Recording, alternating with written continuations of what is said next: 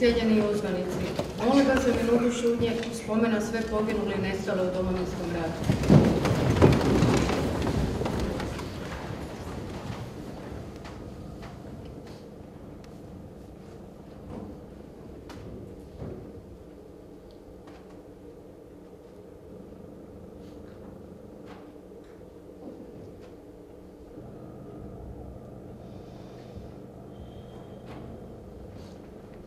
Počivali u miru, neka im je laka Hrvatska zemlja za koju su živote dali.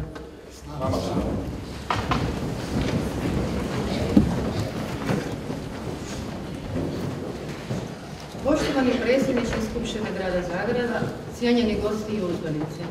Pozdravljam vas u ime organizatora ove tribine, tri udruge, Hrvatski dom, udruge dragovoljaca i veterana Domovinskog rata, podružnice grad Zagreb i organizacije Informacija, Savjet, Pomoć, Izobrazba i Tehnička pomoć.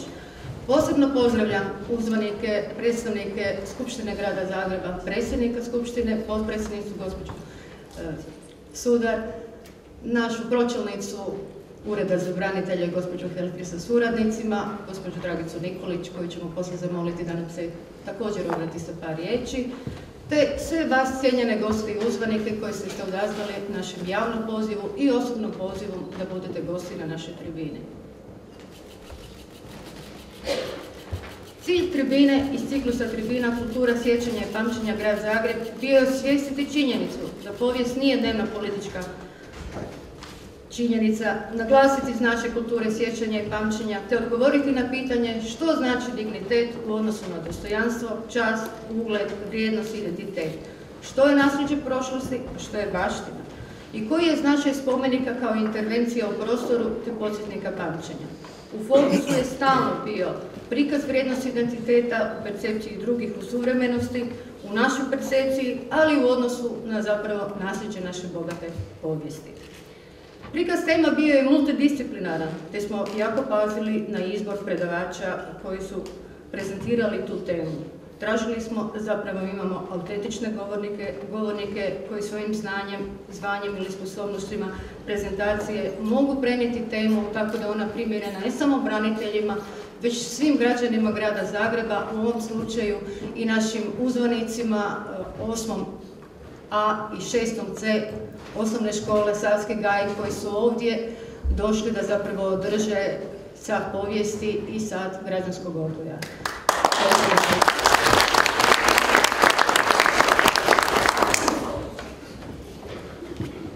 Naravno da sam ja pripremila jedan govor, da pače i sanjala sam ga noćas kao dio svoje noćne more, kako ću se obratiti vama, da li ću imati praznu dvoranu, na koji način ću zapravo približiti temu vama upravo zbog toga što ste toliko sa generacijskim razlikama.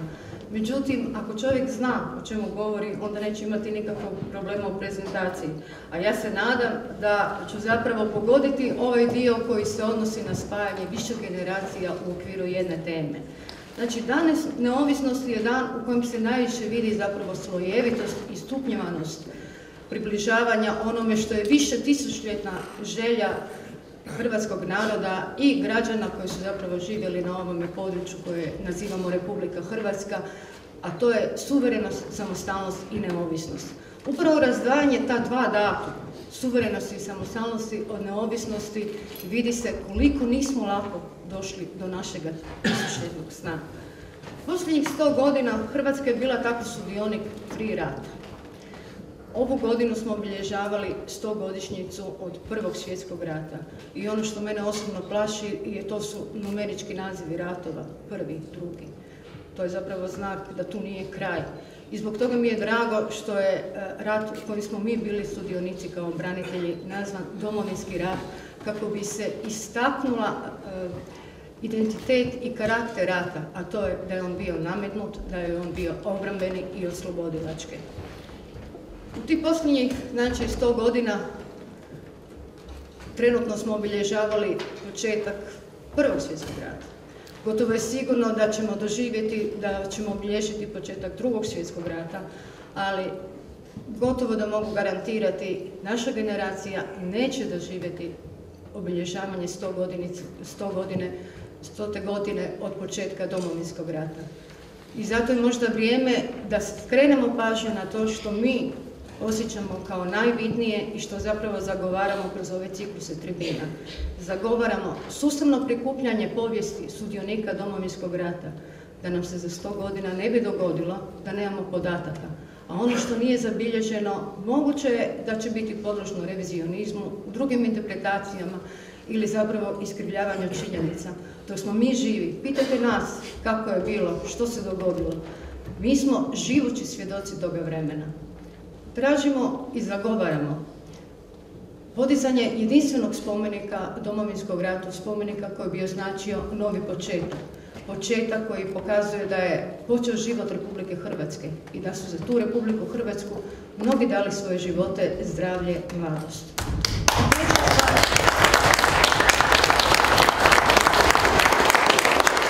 I treća stvar koju zagovaramo je otvaranje muzeja povijesti vojne povijesti i zaštita vojne baštine cjelokupnom svijetu i građanima Republike Hrvatske.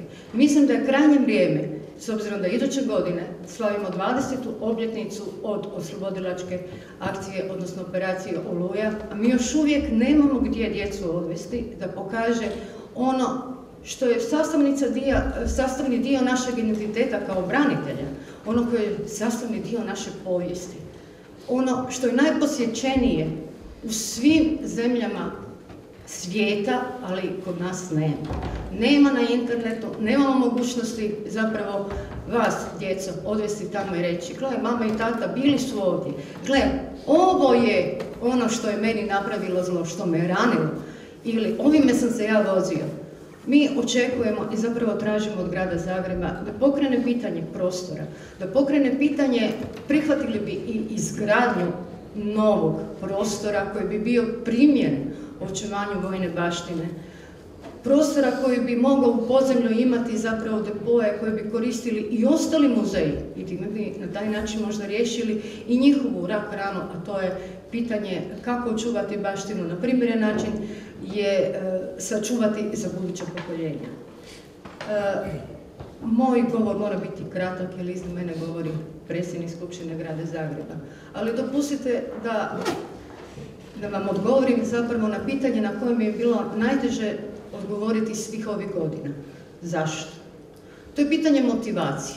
Zašto smo mi otišli u rat i šta smo mi zapravo tamo tražili i šta smo mi tamo zapravo čuvali? Ja neću to reći svojim riječima da ne bi zapravo pogriješila ili možda nekoga uvrijedila u smislu vrednovanja doprinosa, već ću se poslušiti zapravo tekstom naše najveće hrvatske knjiženice Ivane Brlić-Mažuranić, koja glasi ovako. Zašao neki momak u šumu Striborovu, a nije znao da je šuma začarana i da se u njoj svakojaka čuda zbivaju. Zbivala se u njoj čuda dobra, ali i naopaka, svakome po zasluzi. Morala je pak ta šuma ostati začarana, dokle god u nju ne stupi onaj kojemu je milija njegova njevolja, nego sva sreća ovog svijeta. Reče Stribor baki, ne boj se, starice, ostavi snahu, neka živi u zlobi, dok je zloba ne odvede opet onamo otko se prerano oslobodila. A tebi ću lako pomoći. Gledaj tamo ono selo, s srebrom ograđeno, uniđe kroz ogradicu, ljesni rukama, pomladit ćeš se odmah. Ostaćeš u selu svome da mladuješ i da se raduješ kao prije 50 godina. Razveseli se bak kao nikada. Polet je do ogradice. Uhvati se rukom za srebrna vratašca, ali se u to još nečega sjetila pa upita Stribora. A šta će biti od mog sina? Ne budali bako, govori Stribor.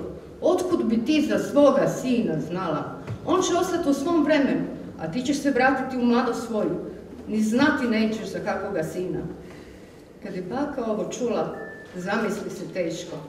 A onda se polako vrati do gredice, dođe natrag pred Stribora, nakloni se duboko i reče Hvala ti, dobri gospodaru, na svemu dobru što mi ga daješ, ali ja volim ostati u svojoj nesreći, a znati da imam sina, nego li da mi dadeš sve blago i sve dobro ovog svijeta, a da moram zaboraviti sina.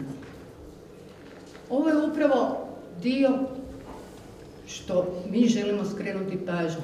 Povjesničari uvijek govore da je povijest zapravo linana. Uzrok, povod, posljedica. Mi skrećemo pažnju na veliku cijenu koju smo platili za suverenu samostalnost i neovisnost. I upravo u ovom trenutku koristim priliku da se zahvalim zajednici udruga grada Zagreba koja je odvojila osam knjiga za naše predavače koji se zovu Dani poslije, koji kroz fotografije i tekst posjećaju na posljedicu, odnosno na cijenu koju je plaćen naš najveći dar, suverenost, samostalnost i neovisnost Republike Hrvatske. Hvala vam.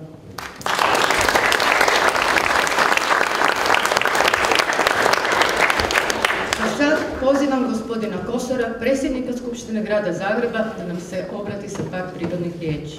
Poštovani predstavnici Hrvatskog doma, udruge dragovoljaca i veterana Domovinskog rata, posebno naši mladi koji trebaju učiti o Domovinskom ratu i nikad ne zaboraviti što se dešavalo samo prije 20 godina ovdje na prostoru Republike Hrvatske. Sve vas lijepo pozdravljam u ime Gradske skupštine Grada Zagreba. Grad Zagreb u svojoj cjelini, znači i Gradska skupština, ali još više grad sa svojim uredom za branitelje, čine jako puno za sve branitelje. Mislim da se to mora priznati. Ovdje je i pročelnica našeg gradskog ureda. Mislim da i gradonačelnik zadnjih 14 godina čini sve što je u mogućnosti grada Zagreba kako bi se branitelji sa područja grada Zagreba osjećali u gradu Zagrebu, potpomognuti od nas kao jedinice lokalne samouprave i kako bi i oni znali da ono što se u Domovinskom ratu dešavalo od nas koji smo sada aktualni politici se nikada zaboraviti neće. Ono što je još važnije, i zato mi je drago da su ovdje učenici, važno je da to ne zaborave i buduće generacije. Ja sam imam dvoje djece, sina od 11 i čer 6 godina i učim ih o tome što je bilo u Domovinskom ratu i što je to bilo 90. 91. 2. 3. 4. na prostorima Republike Hrvatske, jer nas sutra neće biti, ali doćete nove generacije. I sam sam bio sudionik Domovinskog rata i to dragovoljac Domovinskog rata još 1991. godine u 113. brigadi, kasnije u 102. brigadi, Zagrebačkoj brigadi. Osobno sam bio sudionik i znam kako je rat zlo i da Bog da se nikad na ovim prostorima ponovo ne desio. Znamo koliko smo žrtava imali u Domovinskom ratu i sam sam svjedočio žrtvama i to svojoj neposrednoj blizini i to ne želim vama koji danas ovdje sjedite, mladim ljudima, to ne želim svojoj djeci i na nama je da učinimo svi zajedno sve da se to nikada ne ponovi. Normalno, događanja u svijetu, svjetski odnosi i svjetske sile su sigurno jače od nas, male države od 4 milijuna i 300 tisuća stanovnika, ali i mi svojim doprinosom i u regiji, a sada i u Europskoj uniji, kao punopravna članica, možemo dati doprinos da se na ovim prostorima rat više ne desi. Podržavamo ovakve inicijative, podržavamo ovakve tribine. Što se tiče Skupštine grada, sad smo pokrovitelji evo ovdje sa svojim prostorom. Možda je zanimljivo, uvijek to ponavljam kad je god neki skup u dvorani, napomenut da je ovo sada političko kazalište, ali da je nekad bilo pravo kazalište u kojem je držana prva hrvatska predstava na hrvatskom jeziku i prva opera na hrvatskom jeziku. Znači evo nalazite se u tom povijesnom prostoru za koji su se naši pradjedovi borili tada na drugi način, da bi mogli govoriti svojim jezikom u svojoj domovini, a mi smo se 90. godina borili da možemo slobodno živjeti u svojoj domovini. Sada imamo svoju državu i reći ću nešto što do sada nisam rekao.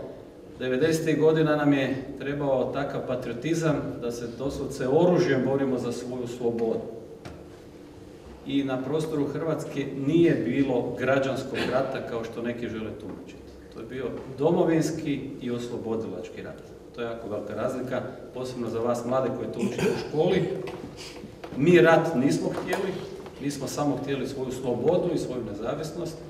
Netko nas je napao i mi smo se morali braniti. Branili smo svoje kuće, svoje domove, svoje obitelji, svoju djecu, kao što ste vi danas ovdje. I zato to nije bio građanski rat, nego pravi domovinski oslobodilački rat.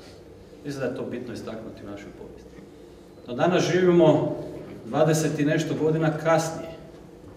Dio smo Europske unije, dio smo NATO pakta, nemamo sad oružanih borbi, ali dosta se sad borimo za svoju egzistenciju. Borimo se da kad ovi mladi ljudi završe svoju školu ili fakultete, uopće imaju gdje raditi i da ostanu u Hrvatskoj. Zemlja koja nema građana, čiji se građani iseljavaju, odlaze u Kanadu, Australiju ili druge zemlje, neće biti zemlja za 50 ili 100 godina. Jer sam prostor bez ljudi nije država i nije zemlja.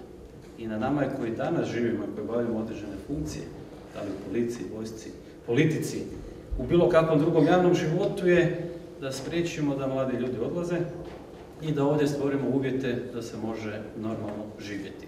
Taj novi duh domoljublja, taj novi patriotizam, kako bi ga ja nazvao, je danas u radu, u odricanju, u provedbi reformi koje su nam potrebne da bi buduće generacije mogle živjeti, pa ako hoćete i u plaćanju poreza, kako je to u drugim državama, nismo više uskoci, nismo više hajduci, imamo svoju državu, jedna od glavnih obaveza i jedna od glavnih odličja domoljublja je da u svojoj zemlji plaćaš poreze i prema svojoj zemlji se ponašaš kao prema svojoj obitelji i svojoj kući i svom domaćinstvu. Sreta sam da se danas ove nove generacije mogu domoljubim baviti na ovaj način. Da ne moraju biti sa puškom u ruci, da ne moraju biti u rovu, da se njihovi roditelji i rodbina ne moraju iseljavati kako iz Hrvatske, tako i iz drugih krajeva bivše Jugoslavije, posebno iz Bosne i Hercegovine. Želim samo podsjetiti da se samo iz Bosne i Hercegovine za vrijeme Domovinskog rata iselilo, ali prinudno, 400 tisuća Hrvata. I to je ta teška činjenica. Znači, to je bio jedan egzodus cijelog jednog naroda, s jednog prostora i to očekujem da se u budućnosti neće dešavati, da svako ima pravo živjeti na svom ognjištu, na svom domu, u svojoj kući.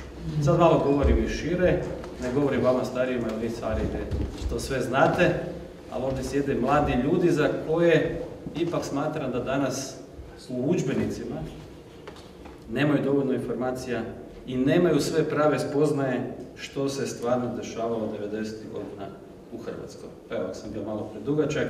Oprostite, puna podrška udrugama, puna podrška i organizatorima današnje tribine. Što se tiče Skupštine grada, ovaj put smo pokrovitelji s prostorom. Ako ćete imati dobrih akcija, bit ćemo mi i financijski pokrovitelji. Živjeli.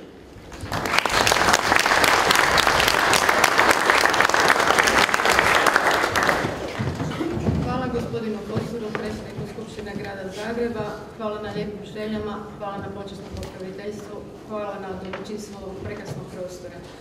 A sada bih pozvala gospođu Dragicu Nikolić, nezavisnu zastupnicu Skupštine grada, članicu odbora za branitelje Skupštine grada, da nam se obrati sa par riječi.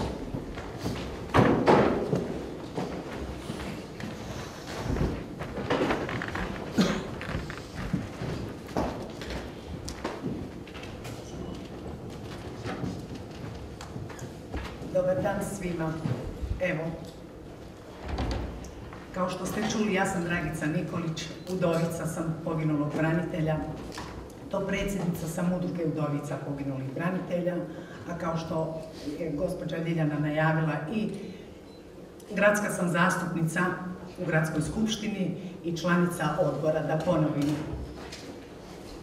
Pozdravila bi sve nazočne, a posebno djecu šestog i osmog razreda, međutim malo moj moje izlaganje će se odnositi više ovaj, na generaciju moju i starije, ne znajući da će nam danas biti ovdje gosti šestog i osmog razreda, tako da ovi koji mogu razumjeti, jer ima malo kao i političkog govora, tako će se reći.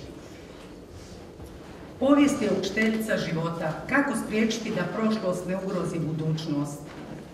Kulturom sjećanja, u samu povijest i njeno uvažavanje važno je upravo kultura sjećanja, naš način obilježavanja upravo tih važnih lekcija i ostavštine povijesti.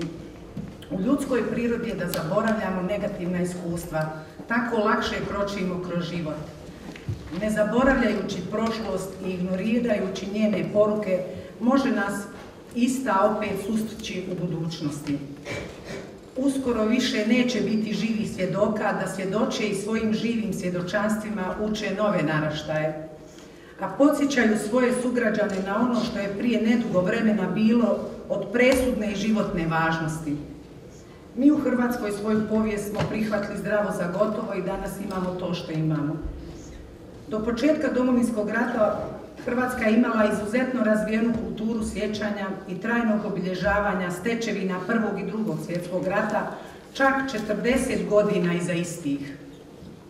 Tek 20 godina od Domovinskog rata patnje i razaranja za ostvarenje samostalnosti i sna o vlastitoj državi zaboravljamo žrtve na kojima je nastala. Naša djeca u školi više znaju o punskim, križarskim i osmalinskim ratovima nego o domovinskom ratu. Nažalost. Imamo slobodnu, neovisnu, samostalnu državu, prepunu mogućnosti, ali u kojoj vlada opće nezadovoljstvo, apatija i neprestana borba. Borba običnog čovjeka za preživljavanje. Politička borba ljevice i desnice, koje koje danas kao da ne svačaju da su dio jednog tijela i da samo zajedničkim radom doprinesu u dobru i stvaranju. Možda smo to mogli izbjeći negujući i poštujući kulturu sjećanja. Podsjećajući na važne datume u kojima smo nastajali kao narod, kao zajednica, podsjećajući na teške žrtve i koje smo uspjeli izvojevati pobjedu, podsjećajući na snage koje imamo ali koje živeći bez sjećanja zaboravljamo. Podsjećajući se na deklaraciju o domovinskom ratu koju da smo poštovali i kroz kulturu sjećanja prenosili, naraštajima ne bi iznova raspravljali o temama opstojnosti i važnosti samostalne države i njenih interesa. Kulturu sjećanja koje imaju i njeguju sve razvijene zemlje svijeta, zemlje koje smatramo naprednim i moćnim, koje uvažavamo i koje želimo kao partnere, svoju povijest i kako cijene i s ponosom ističu. Od svojih prijatelja traže da je uvažavaju i slave jer je njima važna. Kako se slavi dan neovisnosti u SAD-u? Svi znaju kad je taj datum i to obilježavaju dostojanstveno. Važno je da učimo jedni od drugih. Poštujući žrtve izbjegavamo njihovo ponavljanje u budućnosti. Cilj kulture sjećanja je sustavno upoznavanje praksama obilježavanja mjesta stradanja, komemorativnom kulturom i odavanja počasti žrtvama. Žrtve rata traže priznanje patnje. Mnogi od njih imaju duboku i dugotrajnu potrebu za psihosocijalnom podrškom. Većina preživjelih treba društvenu solidarnost, trebaju moralno i materijalno obeštećenje, traže procesuiranje ratnih zločina te pronalazak nestalih osoba i posmrtnih ostataka kao i obilježavanje mjesta stradanja. za razvijanje kulture trebamo puno više od komemoracija jer nam nedostaje pamćenje sudbine žrtava. Samo postavljanje info ploča, spomenika ili razvijanje spomen područja no bez očuvanja povijesne istine koja bi mladima približila činjenicu o počinjenim zločinima ne predstavlja kulturu sjećanja, već samo materijalne dokaze o nekim događajima koji će se kroz određeno vrijeme biti samo dokaz umjetničkog izražaja nekog vremena, bez stvarne vrijednosti i poruke za budućnost. Inicijative za trajno obilježavanje mjesta stradanja iziskuje strpljenje i strajnost u zagovaranju a održavanjem žive uspomene na patnju i žrtve zahtjeva puno više angažmana i državnog poticaja. Ovim putem pozdravljam napore koje ulaže grad Zagreb i Ured za branitelje kroz potpore pojedinim projektima koji potiču društvenu svijest kao što je ova tribina, kultura sjećanja i pamćenja koju je grad Zagreb prepoznao kao vrijednu te i počasni pokrovitelj. Također pozdravljam sve udruge i organizacije koje su realizirale već treću tribinu iz ciklusa tribine kultura, sjećanja i pamćenja, domovinski rat kao dio baštine. I sad još na kraju uvijek ponavljam, ne zaboravimo, narod koji ne cijeni sebe i koji s ponosom ne obilježava svoje povijesne datume, ne može imati budućnost. Hvala vam lijepo.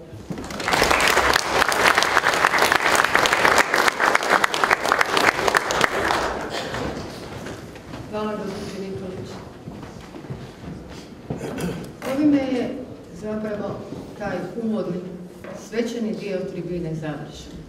Hvala vam što ste bili naši gosti, hvala osmoma razrednici Dubravke Smetiško, hvala šestom C razrednici Karolini Mustać, hvala ravnatelju osnovne škole Savski Gaj, hvala vama djecu na tolikom strpljenju, tolikoj pažnji koje ste posvetili našim govornicima i zaista ponašanju iskazanom upravo onako kako mi stari očekujemo od generacija koji tek dolaze. Hvala vam.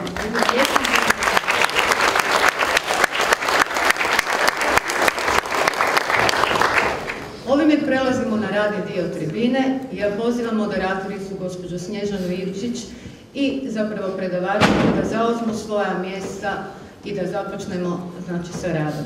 Hvala vam. Možete mene jednim pljeskom pozdraviti.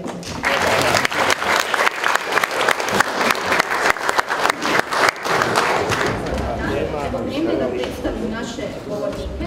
Prvi govornik je dr. znanosti Darko Babić sa katedre za muzeologiju i upravljanje baštinom na odsjeku za informacijske i komunikacijske znanosti Filozofskog fakulteta sveučilišta u Zagrebu. Dr. Babić će nas uvesti u temu i govoriti o suvremenim muzeološkim tendencijama u interpretaciji rata ili mira. Naš idući govornik je gospodin Mario Verhas, voditelj Vojnog muzeja Ministarstva obrane. On će govoriti o projektu Hrvatskog vojnog muzeja u osnivanju, te zašto nam je takva institucija potrebna. E, naš sljedeći govornik je gospodin Željko Jamičić, voditelj muzeja policije, koji će nam predstaviti muzej policije i njegovu povijest, te govoriti o ulozi Hrvatske policije u domovinskom ratu. I naši posljednji govornici su kustosi Hrvatskog povijesnog muzeja, e, gospođa Andreja Smetko i gospodin Ivica Nevešćanin, koji će nam predstaviti izložbu Domovinski rat, koja je bila održana krajem 2011. i tokom 2012. E, godine. E, prostor za raspravu bit će otvoren nakon svih izlaganja, tako da vi pitanja pripremite i možete ih onda predstavljati prilikom nakon što završe izlaganje. A ja sada dajem riječ profesoru Babiću.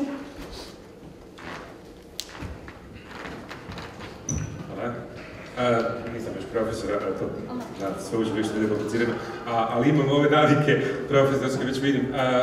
ja mislim da je, da je bolje da sjednete tamo zato što ovaj, ne, morate, ali zato što imam osjećaj da ovaj, puno loše vidite, ali možda je to samo moja perspektiva odavde. druga stvar, ja imam, kako bi rekla kolegica, probat ću, probat uvesti temu vrlo generalno, naravno sa ove muzološke strane i imam dosta slika, ovaj, tako da e, sam se baš veselio da će mlada publika uživati u slikama, ali znam da i mi stariji svi uživamo u, ovaj, ilustracijama i slikama, tako da sam siguran da ovaj, će to funkcionirati. E, nastav same teme interpretirati rat ili mir, suvremene muželoške tendencije, naravno možda pretenciozan, ono, e, naročito u kontekstu toga da se to može sve sažeti u nekakvih 20 minuta. Ono što jest moja intencija je da u kontekstu ovog muzološkog razmišljanja, suvremenog muzološkog razmišljanja, interpretacije baštine vam probam kroz dva, tri primjera ovaj, samo naznačiti nekakve, nekakve trendove ili nekakve razmišljanja, razmišljanja u tom pravcu.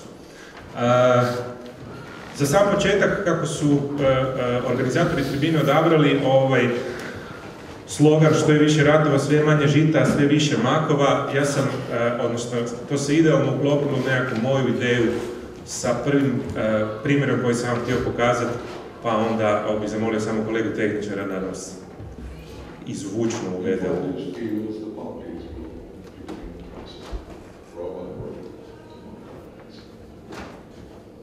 And in the sky, the larks still bravely singing fly, scarce heard amid the guns below. We are the dead.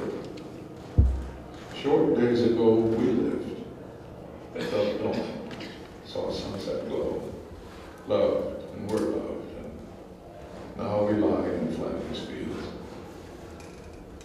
Take up our quarrel with the foe.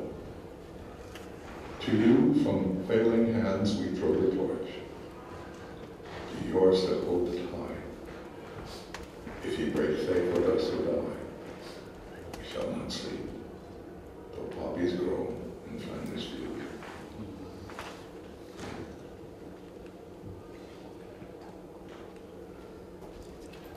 Ok. Uh, u, in Flander Fields, ne znam koliko vam je poznata, poznata pjesma. je vjerovatno jedna od najpoznatijih pjesma nastala inspirirana tragedijama, naravno rata i e, po, po legendi, dakle, kanadskog bojnika koji je služio u Belgiji, koji je dan prije, odnosno pokopao svog, svog najboljeg prijatelja ili jednog od najboljih prijatelja tamo i onda je ovo si odlučio tu napisati tu pjesmu koja je onda na neki način postala na neki način simbol dakle, tog sjećanja na stradanja koja se dešavaju u ratu, u ovom slučaju naravno isprijeno Prvim svjetskim ratom. U našoj vezi, odnosno u ovoj vezi koju ja sam ovdje htio istaknuti, je to istovremeno, dakle, i muzej koji se nalazi u Ipru, u Belgiji i povezan sa, opet, e, razumije se, Prvim svjetskim ratom. Muzej koji je nakon određenog vremena što je bio memorialni muzej, dakle, ovaj, na neki način muzej koji je bio usmjeren na događanja koje su se nama dogodila, odlučio promijeniti donekle svoj koncept, odlučio između ostalog promijeniti svoje ime i upravo tako se nazvao, dakle In Flander Fields, razmišljajući da će upravo tim tim samim nazivom iskomunicirati taj dio, dakle, eh, ratnog nasljeđa, eh, kako je kolegica u uvodu spomenula, vojne povijesti u nekakvom obliku eh, ili povijesti rata ovdje više nego možda vojne povijesti. U onom, u onom smislu kako je to predsjednik Skupštine ovaj, kasnije rekao, čini mi se, a svi se slažemo to, upravo tome da se to nikad više ne ponovi. Ono što je mene apsolutno fasciniralo u tom muzeju i ono što je na neki način, rekao bih, čini mi se, komunicira cijelokupnu ideju samog muzeja, upravo ovaj slajd, znam da je taman, ali ovaj, prenešću vam dio.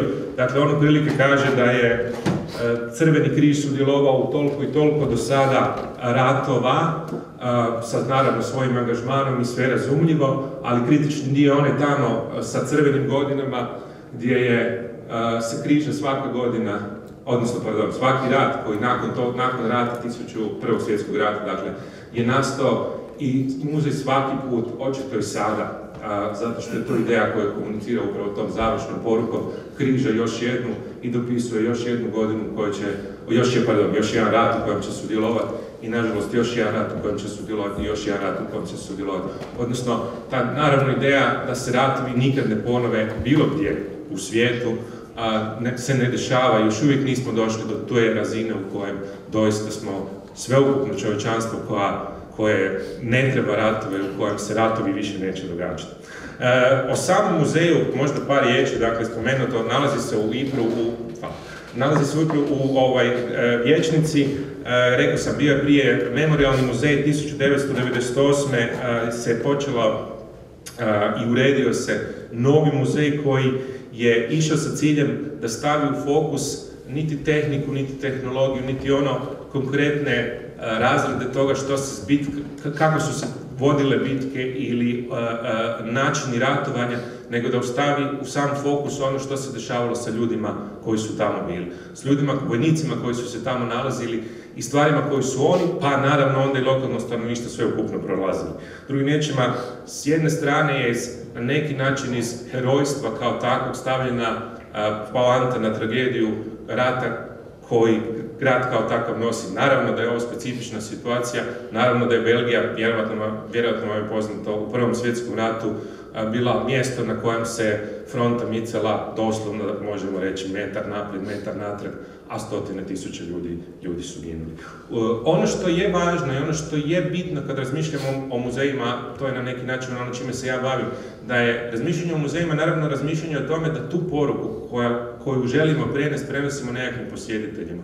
Prenosimo nekakvim posjetiteljima koji mogu biti, koji smo mi, dakle oni koji kreiramo muzej, koji su mlađe generacije, oni koji dolaze, koji su nekakvi u nizu slučajeva nekakvi posjetitelji, dakle, koji dolaze negdje drugdje, iz okolice, koji dolaze iz e, e, Europe, koji dolaze iz cijelog svijeta i tako dalje.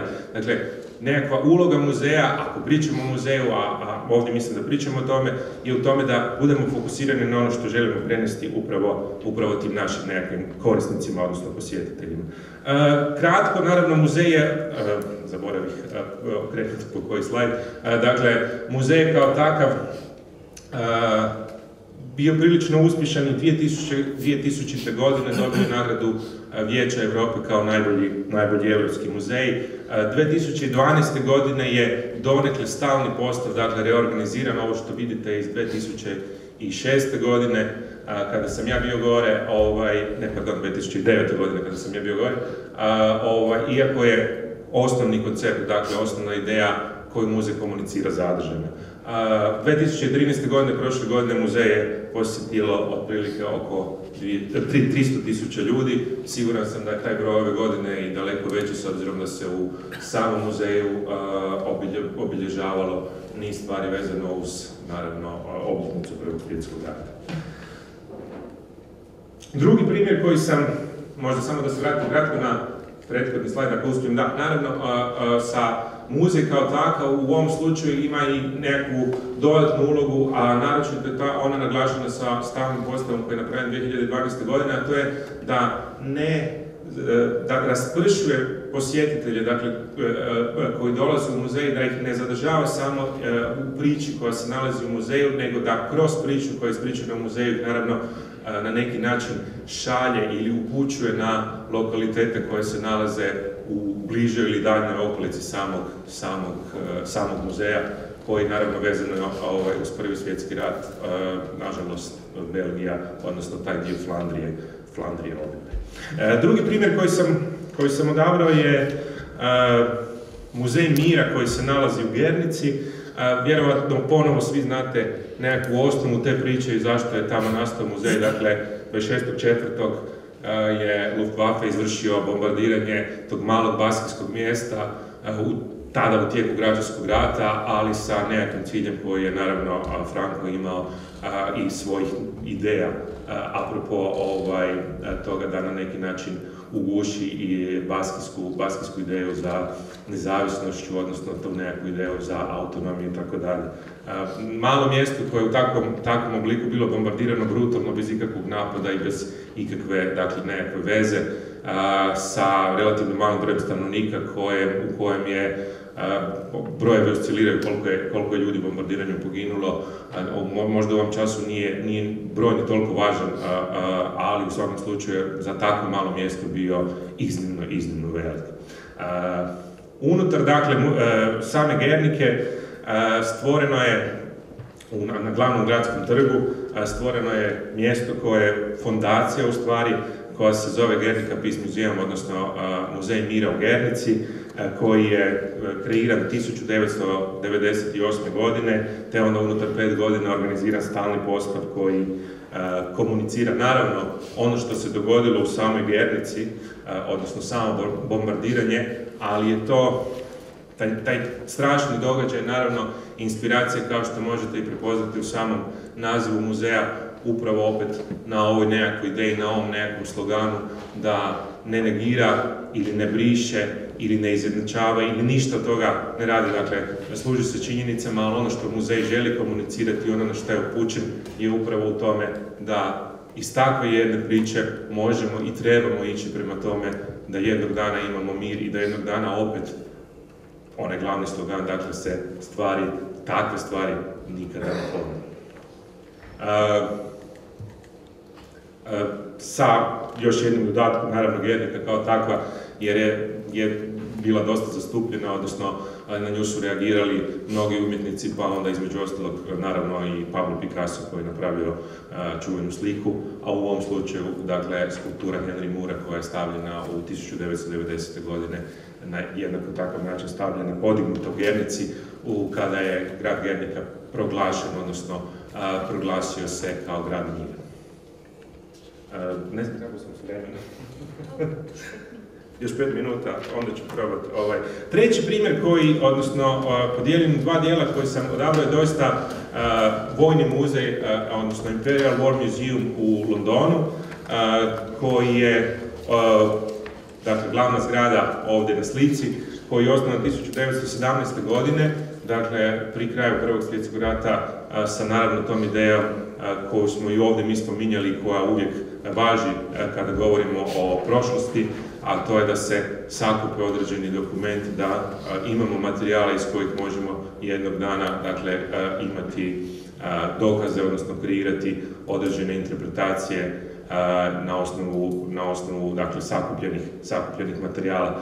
Neću reći da su Englezi ovaj, tu silu napredniji, ali u, u razvoju muzeja, muzeološkom, tim nekakvim tendencijama doista jesu uvijek bili predvodnici i danas su predvodnici još uvijek, pa ne začuđuje da su 1917. išli s takvom idejom muzeja. Za razliku od prethodna dva muzeja, Imperial War muzej u, u, Londonu jest više sfokusiran i na neki način bih rekao da je tradicionalni muzej. On je još uvijek usmjeren na više tehniku, dakle tehnologiju povezanu s ratom, ona koja se tada koristi, nego što to možda interpretira priču kroz, kako sam pokazao, kroz druga dva muzeja. Naravno da je jednako tako i ovdje stavljeno iskustvo posjetitelja u prvi plan. Kažem, neki od slajdova su tamni, ovo je naravno trenč. Rov. Hvala. u kojem možete doista iskusiti, ovaj, dakle, donekle iskusiti kako je to bilo tamo i kako iskustvo se, se prenosilo. Ponovo naglasak, dakle ovdje doista ja govorim s ove muzeološke strane, ponovo ovdje naglasak na to da smo kad radimo u muzeju doista usmjereni na naših posjetitelja. Posjetitelja kojeg naravno treba treba mu ponuditi informaciju, ali jednako tako kao što se traži od Curenog muzeja, treba ponuditi i nekakvu, neću reći zabavu, ali nekakav oblik identifikacije ili prepoznavanja sa stvarima koje koje će učiniti tu posjetu ugodniju, pa donekle i smisleniju. Sa dva sitna primjera iz istog muzeja, dakle u ovom slučaju motor kotača od Lorenza od Arabije, koji onda nije toliko kritičan, naravno u cijeloj priči koju muzej priča, ali stvara onu poveznicu s posjetiteljima, jer će dio njih naravno ovaj, taj dio prepoznati i zadržati se ispred njega možda već više nego ispred nekakvih drugih, a doista je originalni dakle, predmet povezan sa cijelom pričom, ili enigma, dakle, ovaj, stroj za dekripciju koja je na neki način utjecala dakle, u drugom svjetskom ratu na promjenu, donekle, donekle promjenu onoga što se, što se, što se u ratu dešava. Uz dakle, Imperial War Museum u Londonu, koji danas ima sveukupno pet podružnica u različitim dijelovima Britanije. 2002. godine muzej odlučio napraviti sjevernu podružnicu, dakle podružnicu negdje na sjevernom dijelu Engleske, odabir je pao na Manchester i e, naravno razvijen je novi muzej, dakle pod nazvom Imperial War Museum North, koji je e, bio veliki projekt koji je kreirao Daniel Libeskin, naravno na arhitektonskom natječaju za muzej za koji je dobio što arhitektonskih, što muzoloških preko 30 nagrada i koji od, od svog otvorenja 2002. godine do danas posjetilo preko 3,2 miliona posjetitelja. E, ono što je važno u ovom muzeju, dakle, u odnosu na one londonski, u tome što je značajan dio priče dan na, dan na naglas, i na naglasak pojedinačnih priča, dakle iskustva pojedinaca u samom ratu. Neovisno da li on bio prvi svjetski rat, neovisno da li on bio drugi svjetski rat ili bilo koji drugi iznimni, iznimno događanje, dakle kako je sama ideja muzeja navedena. Kroz nekakve dodatne, naravno, elemente u kojima se, evo u ovom slučaju na ovom panelu, interpretiraju simboli, naravno u kontekstu različitih simbola koje, koje imamo s one negativne strane ili one koje bi mogli prepoznati kao negativne i naravno s one, s one pozitivne strane. Jednako tako i današnje iskustvo, odnosno vrlo recentno iskustvo, uključujući dakle Zaljevski rat, ovaj, koji je ostavio određene posljedice i u konačnici dakle ove doista posljedice rata, odnosno kako ljudi kao takvi funkcioniraju.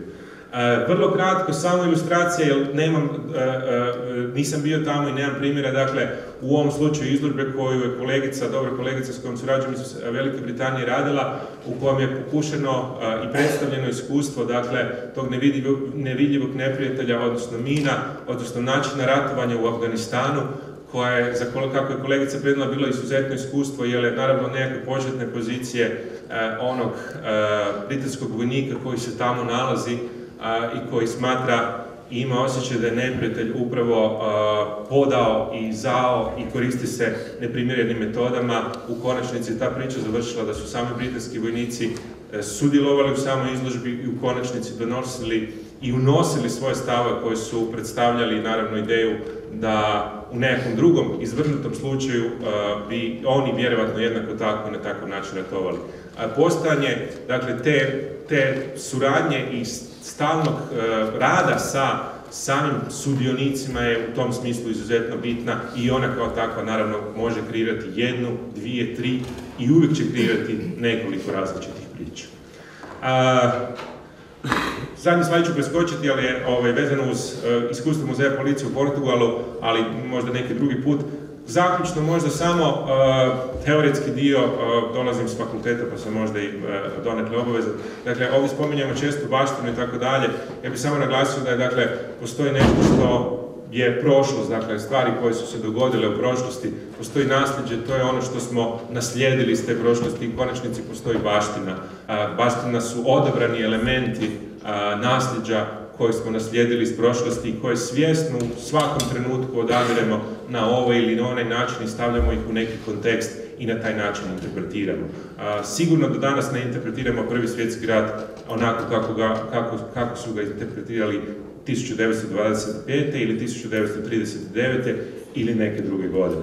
To je naravno prirodni i normalni proces i on se uvijek dešava. U tom kontekstu u kontekstu bilo kojeg muzeja, dakle na neki način ono čemu mi pričamo je svojevrsni oblik upravljanja baštinom, upravljanja baštinom s kojim mi sami upravljamo na nekakav svjestan način u, cilju razvoja dakle lokalne zajednice, pri čemu lokalna zajednica doista kad to kaže može biti nacija, dakle u ovom slučaju Republika Hrvatska, a za dobrobit razvoja te iste lokalne zajednice ili opet ako hoćemo tako gledati Republika Hrvatska. A, to sam u stvari rekao sada u par kraća, par rečenica nego što piše na slajdu. Hvala vam lijepo.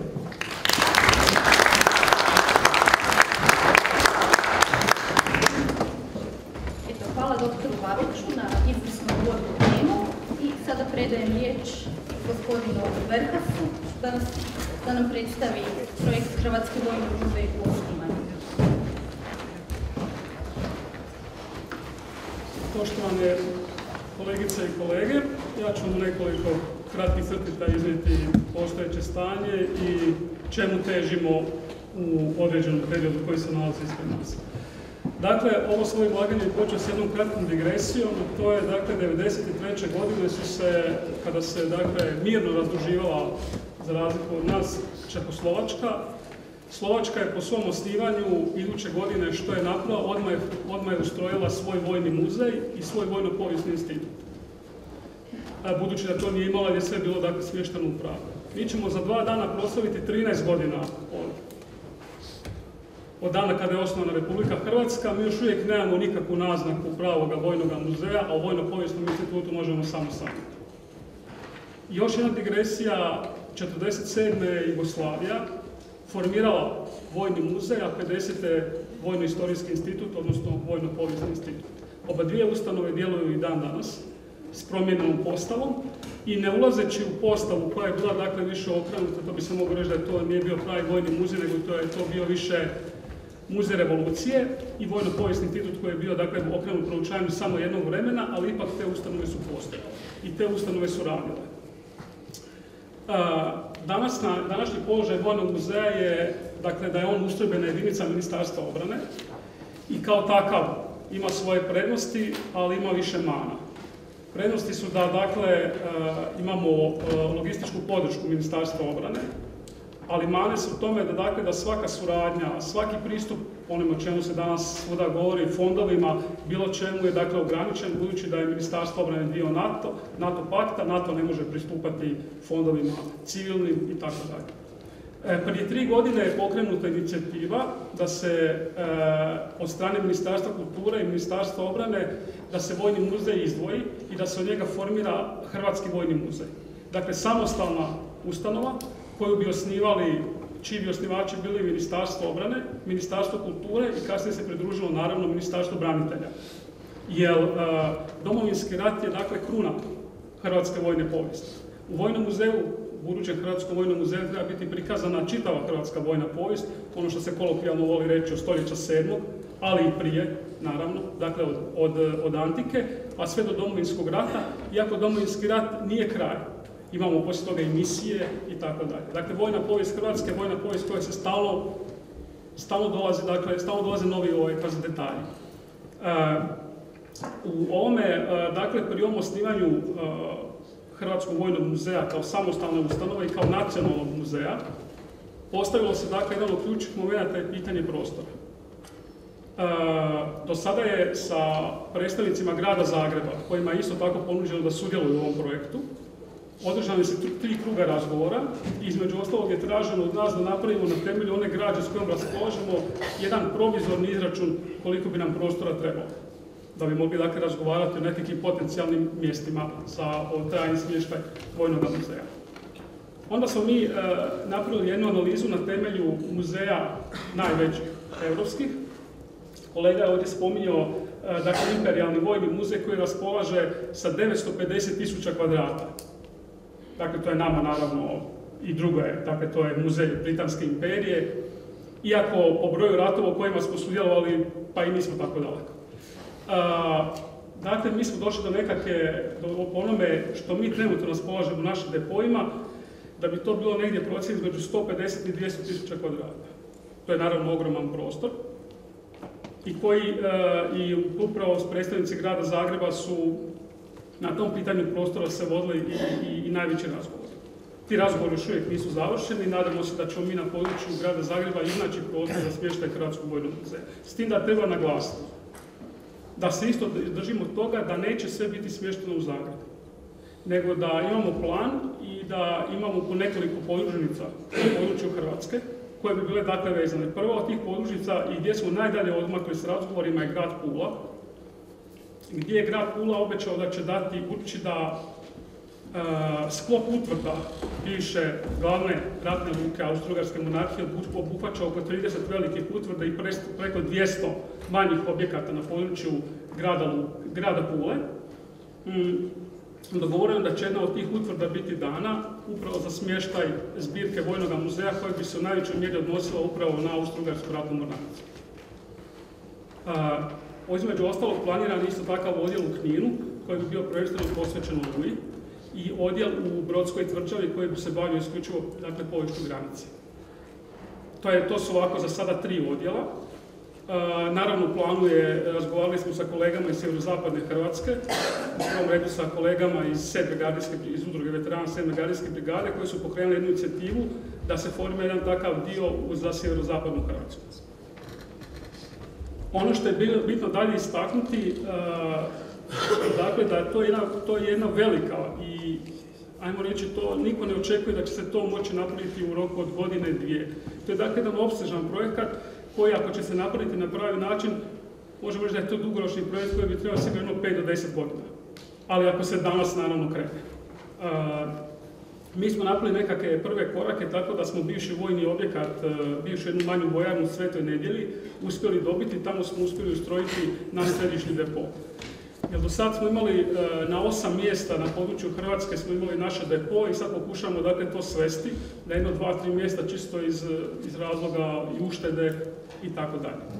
Dakle, temeljni cilj i prvi cilj je koji treba postići je da vlada Republike Hrvatske donese uredbu kojom će se osnovati Hrvatski vojni muzej. Na temelju te uredbe će se donijeti statut i svi ostali dokumenti koji su bitni za djelovanje Vojnog muzeja, a potom se dakle trebalo bi se riješiti pitanje, e, pitanje ovoga prostora i naravno poslije toga ide sve ono po redu, dakle muzejski, e, muzejski postav i ostalo. E, treba, isto tako treba istaknuti da Vojni muzej posjeduje ogromnu količinu za sada već, dakle u svojim depojima posjetuje ogromnu količinu, ogromnu količinu e, dakle, e, muzejske građe. Ona je najvećim dijelom vezana za domovinski rat, naravno, ali sad uspjeli smo se dakle i drugi svjetski rat dosta toga obuhvatiti i prvi svjetski rat.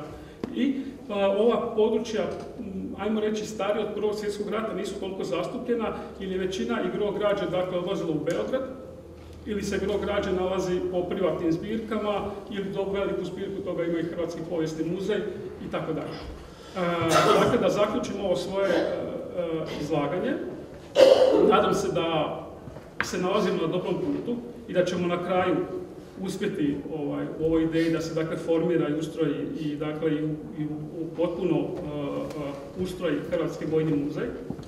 Kao jedan od prvih koraka da bi prikazali iduće godine 2015. u rujnu će se otvoriti u Klovićevim dvorima izložba u povodu Prvog svjetskog rata, ali za razliku od, uh, pardon, za razliku od ostalih muzeja, s kojima smo mi u suradnji, kao što su muzej u Beču, u, Pragu, u Bratislavi, u Budimpešti, koji su svi okrenuti nekako prema kopnenoj, kopnenom dijelu i rata na, ovom istočnom ratištu, e, mi smo se odlučili okrenuti prema onome što niko nema, što niko drugi nema, osim nas, to je dakle Pula i dakle Austro-Ugarska, Austro flota.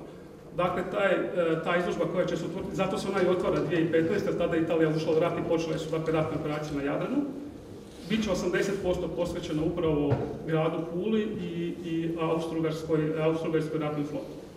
Evo, to ovako ukratko, ako bude kasnije pitanje, stojimo na raspolaganju. Ja sam svoje izlaganje zamislio da počnem malo od stoljeća sedmog.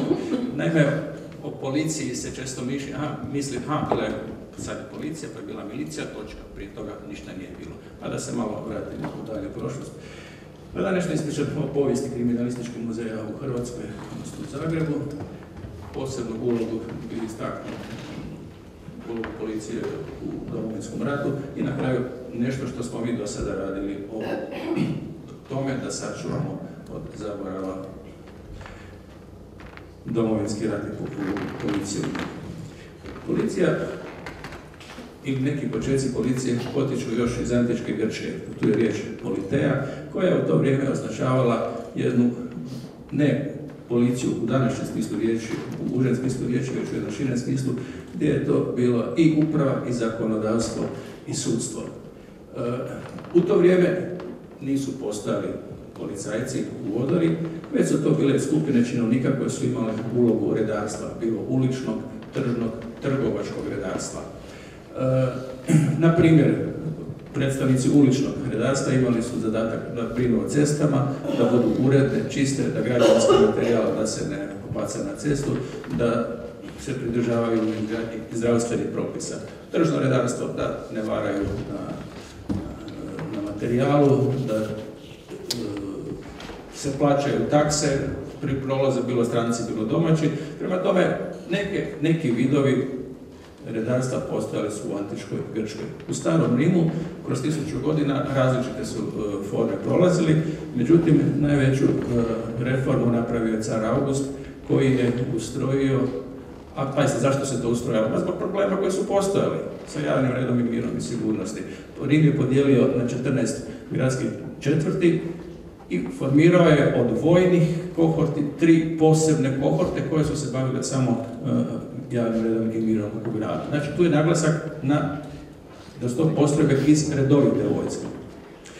Na čelu je bio gradski prefekt, jedna osoba u, u, čijim rukama je bilo kadijate tuži kadijate sudi. Imao je svu upravnu, zakonodavnu, izvršnu vlast. Međutim, dogodio se požar u šestoj godini, poslije Krista, i sad vide da to nije bilo dobro, formira sedam stražarskih kohorti e, i tada od Rima, pa skroz vidjet ćemo kroz srednji vijek, imaju naglasak te gradske službe, brinuti o protupožarnoj zaštiti i zaštiti gradova noću. To ćemo vidjeti kasnije na našim primjerima.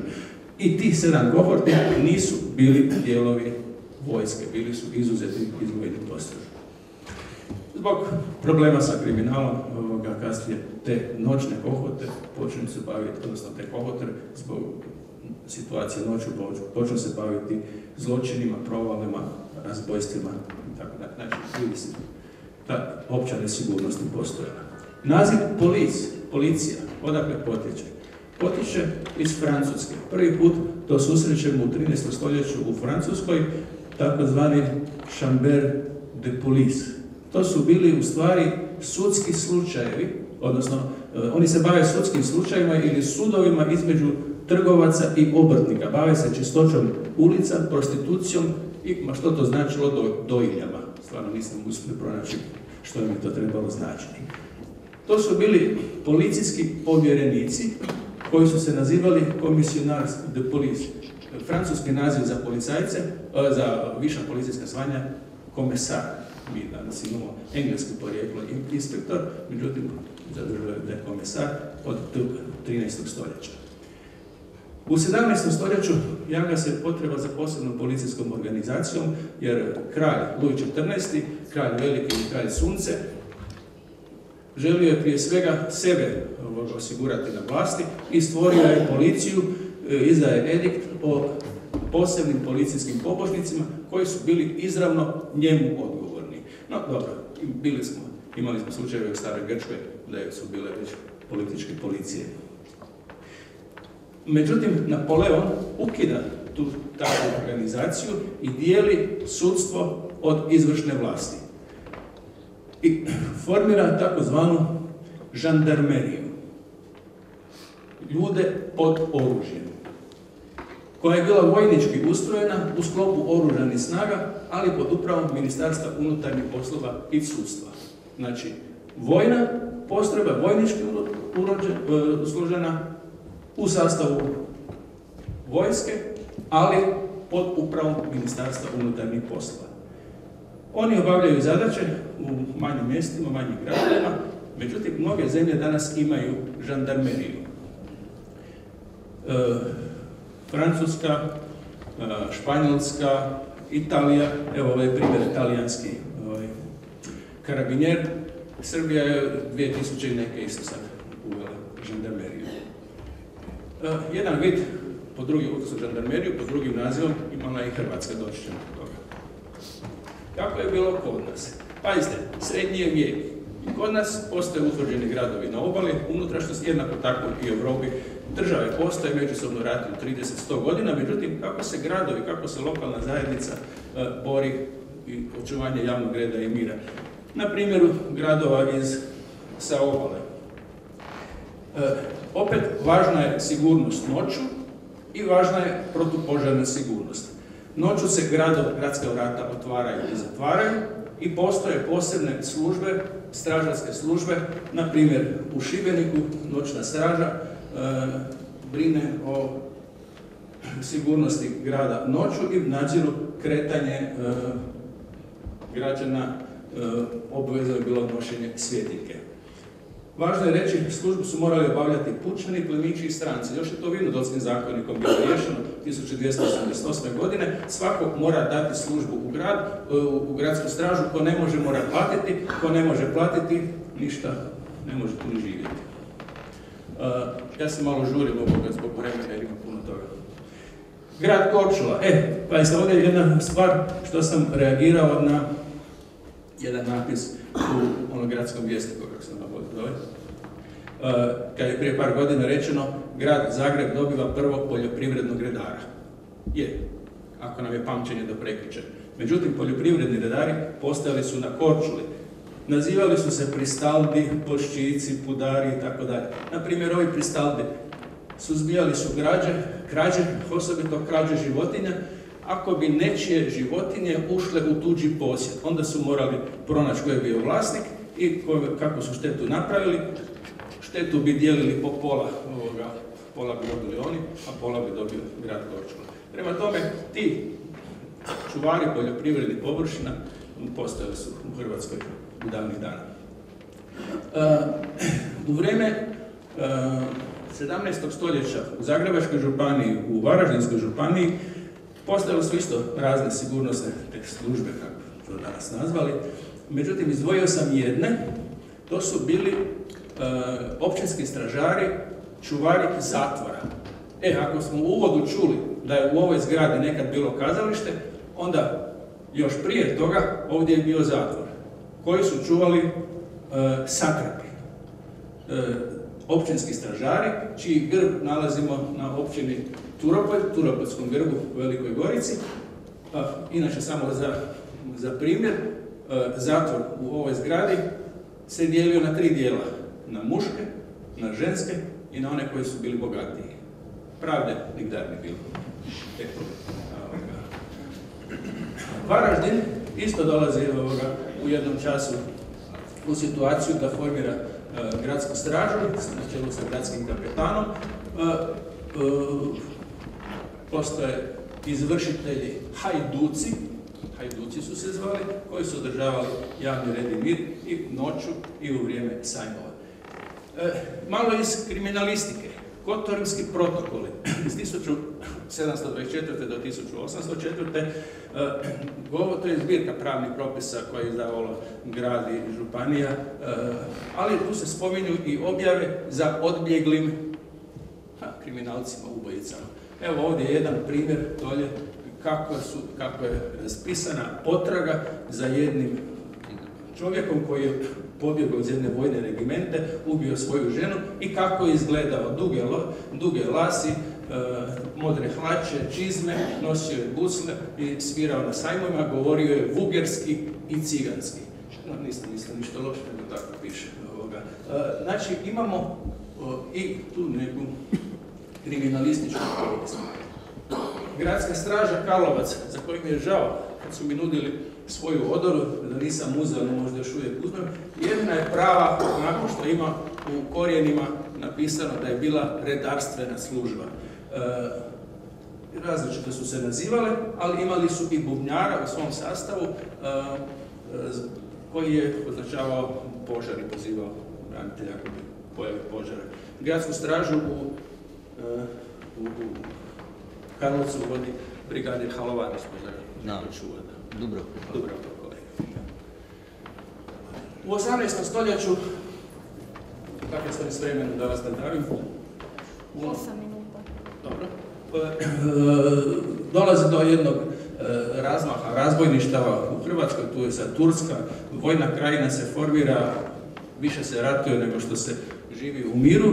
E, osnivaju se posebne redarstvene službe na razini županija, koje pak imaju samo unutar svoje županije nadležnost. Međutim, neki plemički službenici osnivaju i straže u ulozi redarstvene službe na razini gradova. E, opet priča o tome da su više lokalno i nepovezani. E, jedan od poznatijih tako plemičkih m, plemića koji je imao svoju grupu, ne znam kako, vojsku, bio je baron Tren, poznati kao Trenko i. E sad ovdje je jedna situacija, vojna krajina, nešto što nas povezuje sa vojskom. Vojnu krajinu čuvali su između ostalog i Serežani. To su bile vojne postrojbe u redarstvenoj ulozi, koji su se koristili kod većih nemira, kod progona razbojnika, često su bila upadi razbojnika iz Bosne preko Save. U Hrvatsku i Slavoniju čuvaju ceste i raskrižja. E sad, ovi Serežani mogli bi ih shvatiti kao ili prva jezgra vojne policije ili, ili specijalaca ili, ili specijalne policije. Pazite, to su bili izabrani vojnici koji su morali biti pismeni, koji su morali biti odlični strijelci, koji su na različitim terenima, nepovoljnim terenima mogli stražariti ili podržavati službu, koji su držali granicu i sprečavali te upade razbojnika iz Bosne. Ali to su mogli činiti samo na području svoje pukovnije. Serežani su išli sa banom Milačićem gore 848. do Beča. E, nisu osobito popularni u Pešti. E, u 19. stoljeću u Hrvatskoj dolazi do osnivanja redarstva. E, Ukida, se- ukida se kmetstvo, ukida se feudalni odnosi, traži se bolja organizacija, traži se profesionalizacija i znači, rekao sam, pojam redarstva. Uvodi se u upotrebu pojam redarstva. Morali su biti na službi građanstvu, morali su imati uljudno i pristojno ponašanje i tražilo se da uvijek budu spremni pomoći. Kad kažu ovoga, e, da su se ljudi i u prošlosti zapošljavali u redarstvenim službama, nije točno, ovoga, jesu se naravno zapošljavali, ali nikad ih nije bilo dovoljno koliko, je bilo, koliko su bile potrebe. E sad, u, tada, u 850. godine i u Hrvatskoj se formira žandarmerija. Hrvatski naziv za žandarmeriju je oružništvo. E, šta se događa u Zagrebu? I u Zagrebu se sad formira ta jedna e, redarstvena, profesionalna, uniformirana služba. Pitanje, gdje? Gdje je bila njezino sjedište? Ajde ovako, nije bilo daleko odavde. Evo, ove kamenita vrata. Na kamenitim vratima, gore na prvom katu je bilo e, kamenita 3, sjedište e, prve redarstvene postrojbe tu gore. E, ovako su izgledali ti stražari